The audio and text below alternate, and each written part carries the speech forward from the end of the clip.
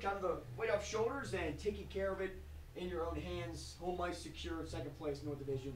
Your assessment of the game and this season here at this point. Yeah, um, I would say these two games. Um, I would say probably pretty close to the the, the most complete uh, games that we've played in a while. Um, you know, it's uh, a big test. Um, you know, up against a, a really strong Newfoundland team.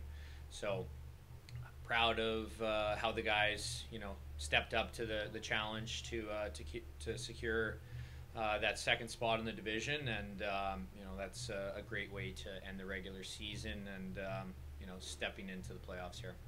For Pat Nagle, victory tonight, a milestone for him. You might not look at all that, but it's his 250th professional career victory. What can you say about the performance? In the milestone, but also what he did against his Growlers team. Yeah, um, real calming presence back there. Um, you know, always always under control, and um, you know the way that uh, that he helps our team. Um, you know, the the confidence that he brings to brings to the table is is huge for us, and uh, you know that's that's something that. Uh, that you can't really replace ever. So it's it's a it's a big piece to our, our team, and uh, you know we're we're grateful for everything that Pat does for our group.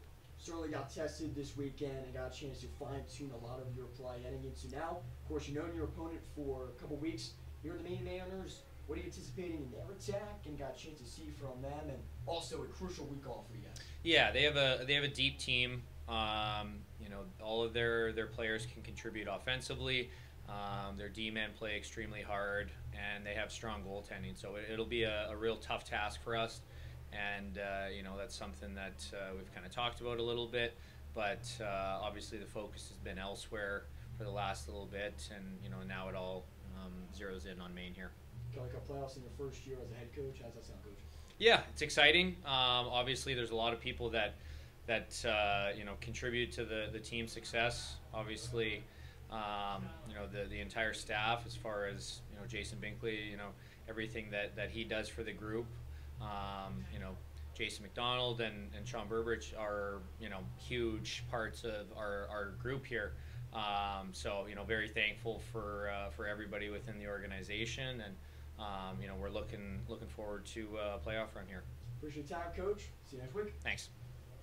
You like this and the last 24 hours for you, your game exceptional to play in front of it just as good. What do you take as a player from this series? It was huge for us. Um, Newfie coming in, knowing they're such a talented team, uh, number one in the division for a reason.